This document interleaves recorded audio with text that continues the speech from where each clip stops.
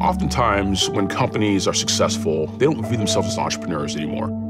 And the fact of the matter is, almost every company started off as an entrepreneurial venture. My great great grandfather met up with a guy by the name of Balt.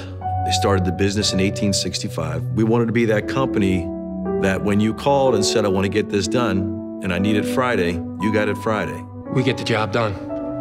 I think at one point, our redye rate was 1%.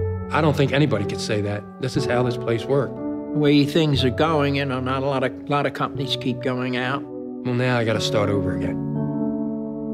You know, and after putting almost 20 years in here, you're like, oh. Fair trade is, is not fair.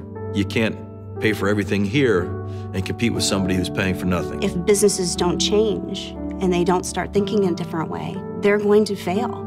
As the business started going downhill, neighborhoods starting going downhill, uh, there was a definite change in the, uh, the people that lived around here. It affected everybody. But, you know, it's, it's tough. Failure on a massive scale can be devastating, but without failure, the learning that needs to happen in order to drive innovation and reinvention is is very difficult to attain. When we do our work, we really think about the people that have worked here, the business that was done here.